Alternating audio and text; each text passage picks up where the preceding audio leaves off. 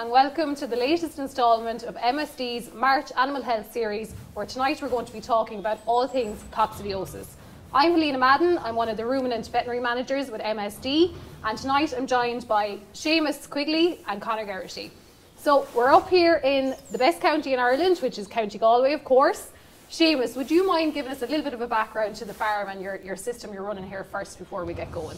Yeah, we're farming here in the Ahascragh, Ballinasloe, County Galway. Um, sucklers, uh, we're running sucklers here and we keep the, um, all the heifers onto beef, we sell some of the bullocks and we're buying in store cattle and killing them for finishing after that.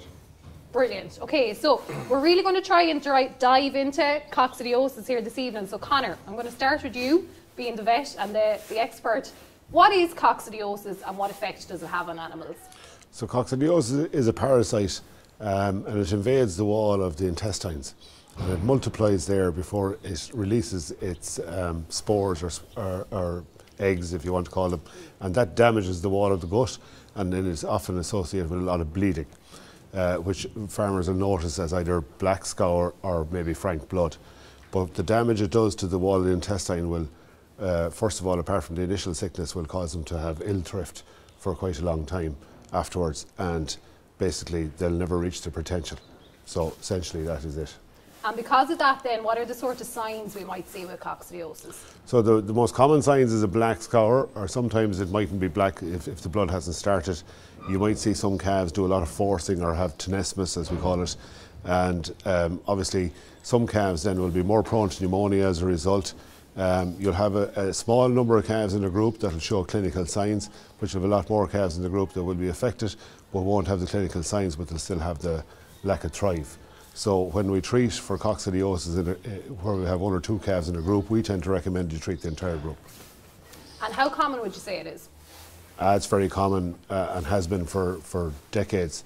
I suppose uh, over the last 20 years we probably have a little bit better uh, since the advent of Vecoxan, we have we have better means of treating it now, um, and also we understand the epidemiology of it better, so we can treat strategically in where we have known where we have known exposure, so we can treat the parasite before it breaks out and causes the damage to the gut.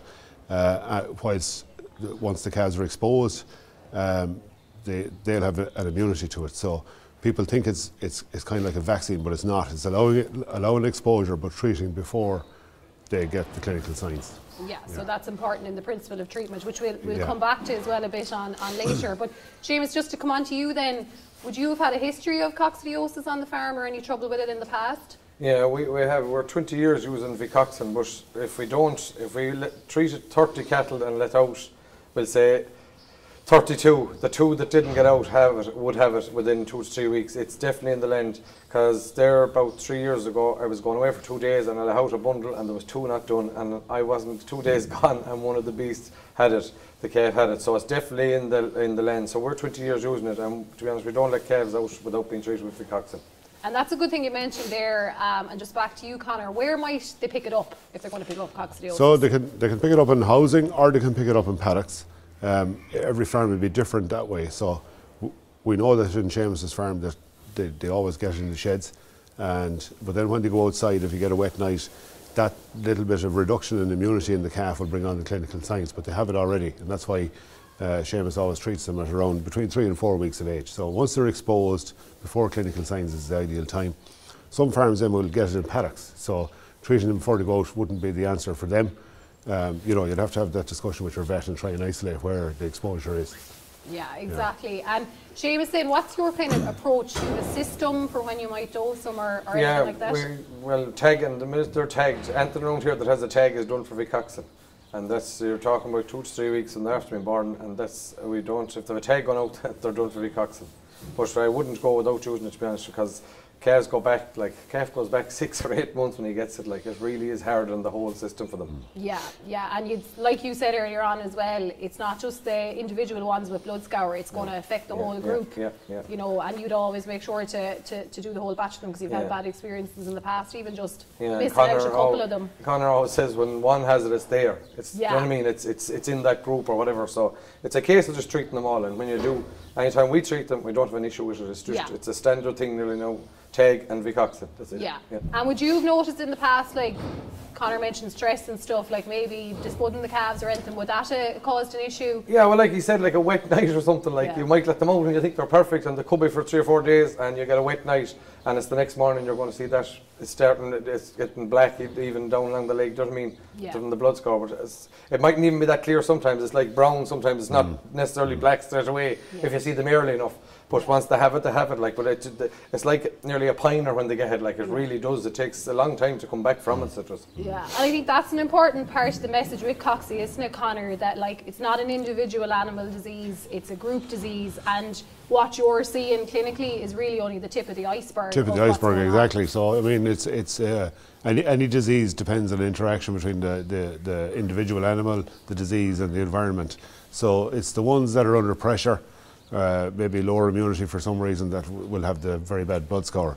But the rest of the group that they're there, they have it as well, and it will affect their ability to absorb nutrients and thrive. So Yeah.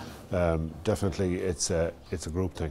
And if you missed it, like it could be too late nearly by the time you realise that Coxie's been causing damage in yeah, some so situations. well, say once once the um, once once the intestinal wall is damaged, you know, like there'll be scarring on that wall, so they won't have the same absorption area to um, absorb nutrients. So by definition, then they won't thrive as well, you know.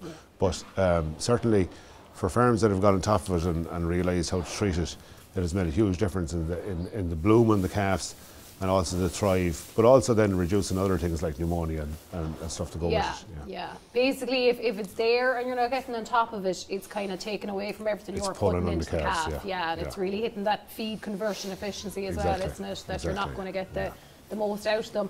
Um, and just saying as well, Conor, like diagnosing coxi or if someone's suspicious they have an issue, what's what's the best way to go about getting to the bottom of that? Diagnosis is fairly straightforward. So, I mean, if you take a, a fecal sample or a dung sample, you know, they're readily uh, diagnosed either in the lab or by microscope or one of those new machines that are going now. They'll all diagnose coccidiosis. So, uh, it's quite easy to see.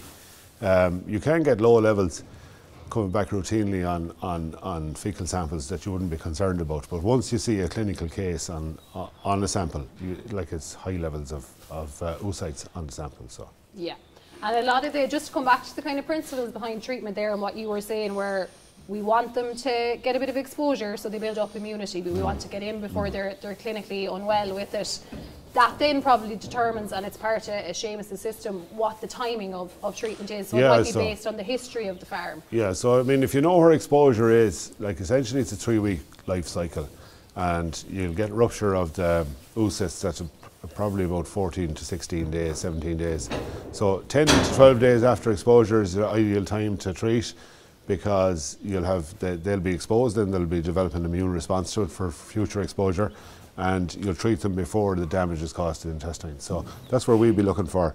If you know you have an issue in a particular paddock or a particular shed, that you know get in there 10 to 12 days after they go in there, and then that should uh, And that that's probably what the issue. happened with your two Seamuses. They went out to that paddock, and that paddock just has coccidiosis in it, and probably will for forevermore. Well, I knew because we were busy at the time and the two were missed, but they were to be done, but sure, they were left and sure, they got it. But it just takes a long time for a, an animal to get going again. As you said, the damage is done. So it's not, it's cheap in the long run to prevention is better than cure, in my eyes. Exactly, yeah, exactly. And that's another part of the problem with Coxie, isn't it, Conor, is how well it's able to survive. Like, it'll survive away in a field from one year to the next. It'll survive away in the field, and even like we the farmers that would have steam washed sheds and, and disinfected them, very hardy um, parasite, um, and certainly very very difficult to um, to get rid of um, from from any building. And obviously you can't disinfect a field, so yeah. yeah. Yeah. Yeah. and if you were to go about managing it in a shed, you obviously do need to be aware of what type of disinfectant you Yeah, use. I mean, like it, the attention to detail will be very high compared to a normal cleaning of a shed. You know, you really have to get into all the crevices and use the, the appropriate disinfectant. Yeah, exactly. Well, I think, in fairness, Seamus, your calves are a testament to good coccidiosis management and Vecoxan a little bit. We'll, we'll take that one there. So it's great to see someone that's, you know, seen the effects of it, but now as a really good, solid control program. And you're more than convinced, and I'm sure telling others about how important it is to to get in ahead of it and, and work on a preventative method as opposed to wait until you have a have a mm. problem. Well, it's like I said, it's like the tag. It's the next thing around here. When they get the tag, they get the Vecoxan, and that's it. But it's it's prevention is better than cure because it's it's it's six to eight months the animal mm. before it starts coming back again. Like it's it's it's hard on an animal. Yeah. So that's my side of it, and I wouldn't change things to Vecoxan. Brilliant. Okay, Conor, so I might just come back to you there again. Um, and we've spoke about the Vecoxan and the importance of the timing with, with that. Is there other management strategies that someone might need to take into account if they're really under pressure with coccidiosis? Yeah, well, obviously there are areas on the farm if you have a big problem that are highly contaminated with coccidia. And I suppose you, the, the thing is you have to limit, either limit the exposure to young animals to these areas or try and modify them that they're less exposed. So with sheds, you know, cleaning and disinfection, as we said, while it's difficult, it will reduce the exposure. And outside then, it tends to favour moist, uh, wet areas or muddy areas. So water troughs, gates, gaps, that sort of stuff. You know, uh, maybe improving the underfoot conditions there. So a lot of farmers would have, would say with sheep, would have um, um, 804 or similar stone fill under water troughs to, to, to keep the underfoot conditions correct. And moving troughs as well if you're feeding creep feeders or the likes, if you move them to fresh area, it avoids the build-up of, of any parasite or any bacteria. So those sort of things do help. Um, I suppose the issue is that when they come back, you know, depending on the age of them, when they come back into those areas, and you tend to see your own sheds, there's always paddocks or own sheds that are used for young animals, um, that the, the exposure will be there. So it depends on the farm, but there's certainly things Yeah. that can be done to help Yeah. uh, as well, you know. To, to yeah. decrease the load because the more of it is there, Yeah, the well, the difference in the high load and the low load is the high load is sometimes overwhelms the animal and, and you get severe disease that's that's that's hard to cure. Uh, whereas you know with any disease if it's mild, it's easier to cure. You know. Yeah, So. yeah, exactly. But ultimately, and we've probably said it a couple of times now, like we do actually want them to get a bit of exposure. You want to get exposure, but you don't want to get um, you don't want to get uh, that they're overwhelmed with exposure that they that they Yeah. go down. And it's the same principle as it is with cryptosporidia or, or any of those diseases. You know. Any So infectious disease, yeah, yeah, especially yeah. ones that build up like that in the, Yeah. in the environment. And just actually, James, come back to your uh, protocols again on it, do you just do them once or would you find you need a repeat treatment ever? No, once if they're Yeah. done two to three weeks, I, I Yeah. don't Yeah. genuinely never have an issue with a problem again after that. Yeah. it's covered and done. Which is a really good sign of how good the control program is working. Yeah, I'd say for people that need to repeat it, it's probably that they've gone in too soon, that they haven't been exposed, and and I suppose that's where they need, that's where the one size fits doesn't fit all. That you need to understand where they're getting exposed on the individual farm, um, and and and then treat about ten days after that if you can. So, Yeah. um, there like it can be a bit of trial and error on that, but Yeah, yeah, Yeah. But if you have a history of it, you probably have a bit more to, to work on, and definitely Mm. always contact your vet to, to discuss all of that because it can be a little bit complicated trying to figure out what, what's the best way to go about it.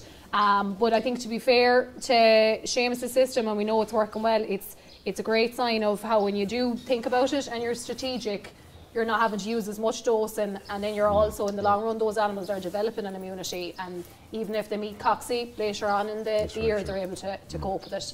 Um, just to, to move away from the calves then um, Conor lambs obviously get coxy as well. Would you see Yeah, they get of an a different strain obviously than the ones that the calves get. Um, and we certainly see it on, on, on a number of farms. And again, it's linked in with immunity. So you can see outbreaks of coccidiosis in tandem with Nematodirus, for example, if the, if the animals are under pressure. Um, I suppose there's been a good bit of work done on, on, on building up immunity in lambs. And if they are exposed in their first 48 hours, um, they will build an immunity to it. But that's the, there's a challenge in that because it's hard to get lambs out within the first 48 hours unless the weather is very, very good. Um, and oftentimes it's 72 hours before most of them get out. So um, again, we would see the most common thing you would see is that is is a, a scour that looks like possibly Nematodirus early on in spring. Um, you can have a lot of losses with lambs because it, it, it, it just pulls the lamb down a little bit uh, immunity wise, and you can see them having more cases of meningitis, pneumonia, things like that that you may not relate to coccidiosis unless you take a sample and maybe investigate uh, a few post-mortem cases or whatever. So um, certainly farmers that, that have an issue know um, that it's something they have to keep on the radar.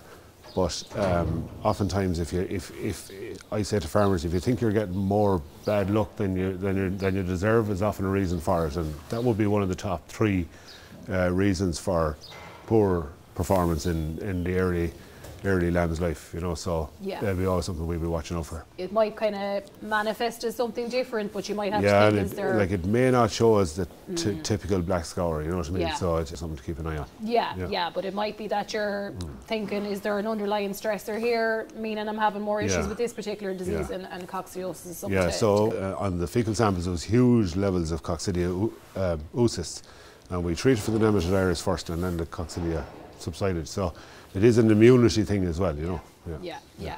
And the coxin is fine to use in lambs as well. it is indeed. Yeah, yeah.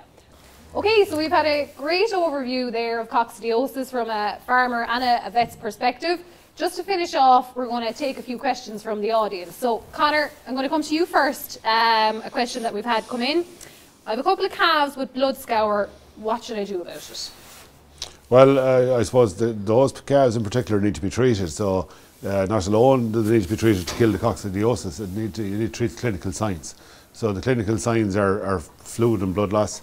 Um, so uh, replacement electrolytes will be an important part. Um, it's quite a painful condition, so uh, some painkilling medication.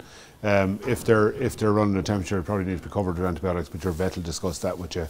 And sometimes we, we would use uh, something to um, ease the ease the passage of fluid through the gut. So something like kaolin powder or other um, astringents. Um, once you have a couple of calves in a group with coccidiosis, then you can be sure that the entire group have it. So really and truly, they should be all treated um, for coccidiosis. Yeah, so Yeah. again, not an individual animal thing. Exactly. it's a- Yeah, it's a group group thing. Yeah. Yeah. Brilliant. Um, Seamus, on to you then. Uh, a question in how much Vecoxan are you using per calf?